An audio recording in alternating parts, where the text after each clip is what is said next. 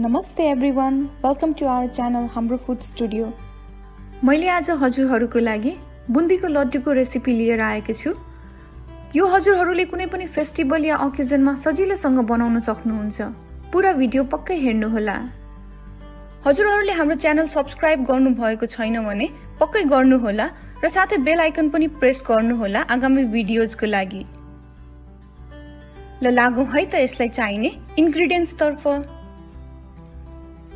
यो दुई कप बेसन दुईदेखि तिन कप पानी लिनुहोला यो डेढ कप चिनी आधा चम्चा सुकुमेलको धुलो आधा चम्चा अरेन्ज फुड कलर एक चम्चा कागतीको रस दुई दुई चम्चा सानो सानो गरी काटेको पिस्ता र काजु। अब ब्याटर बनाउनतर्फ लागौँ। एउटा बलमा राख्नुहोस् बेसन अनि राख्नुहोस् वान फोर्थ चम्चा फुड कलर अब अलिअलि पानी राख्दै यसलाई मजाले चलाउनु होला। लम्प चाहिँ हुनुहुन्न है। पानी सबै एकैपल्ट नराख्नु होला। यहाँ मैले ब्याटर बनाउन around one and half cup पानी युज गरेको छु। हाम्रो ब्याटर यतिको हुनुपर्छ। बुन्दी बनाउन हजुरहरूले यस्तो ग्रेटर या स्ट्रेनर युज गर्न सक्नुहुन्छ। म चाहिँ स्ट्रेनर युज गर्दैछु। हजुरहरूलाई सानो बुन्दी मनपर्छ या हजुरहरूको स्ट्रेनरको पाल ठुलो छ भने यसलाई यसरी आल्मुनियम फोइलले ऱ्याप गर्नुहोला। अनि टुथपिक या कुनै पनि पिनले यसरी सानो सानो पाल बनाउनु होला अब एउटा भाँडोमा पुग्ने तेल हालेर मिडियम टु हाई हिटमा तताउनु होला तेल मजाले तातेपछि ब्याटरलाई स्ट्रेनरमा यसरी राख्नुहोला।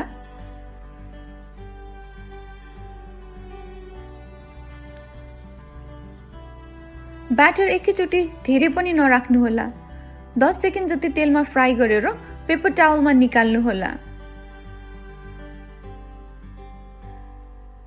यसरी नै सबै ब्याटरको बुन्दी बनाउनु होला धेरै फ्राई गर्यो भने बुन्दी कडा हुन्छ त्यसैले अराउन्ड दस सेकेन्ड जति फ्राई गरेर निकालिहाल्नुहोला है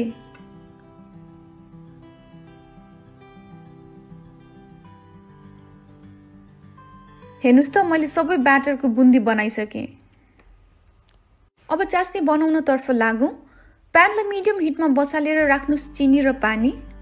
चिनी जति लिनु भएको छ त्यसको आधा पानी राख्नुहोला एकपल्ट मजाले चलाएर यसलाई बोइल हुन छोड्नुहोस् त्यसपछि राख्नुहोस् सुकुमेलको धुलो अनि बाँकी वान फोर्थ चम्चा फुड कलर।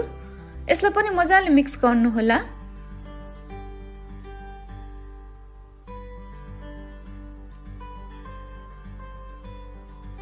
चास्नी यतिको स्टिकी हुनुपर्छ।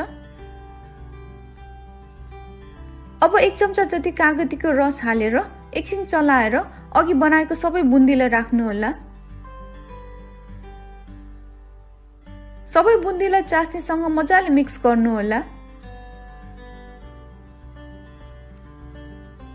अब राख्नुहोस् काजु र पिस्ता यसलाई पनि मजाले मिक्स गर्नुहोला।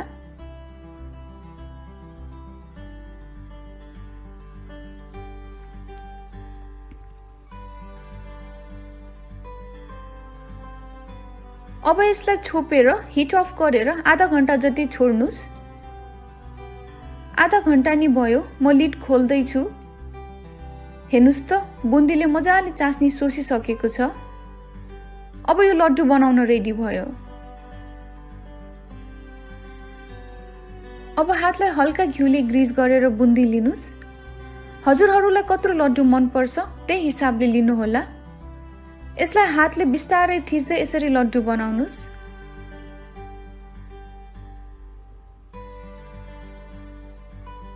यसरी नै सबै बुन्दीको लड्डु बनाउनु होला।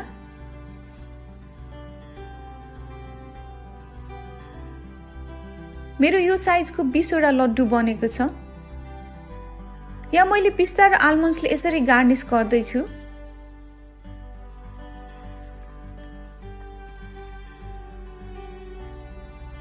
म एउटा लड्डुलाई टुक्रा गरेर देखाउँदैछु। हेर्नुहोस् त कस्तो सफ्ट र जुसी बनेको छ। हजुरहरूलाई हाम्रो रेसिपी मन परेमा लाइक सब्सक्राइब र बेल आइकन प्रेस गरेर सपोर्ट गरिदिनु होला थ्याङ्क यू बाई बाई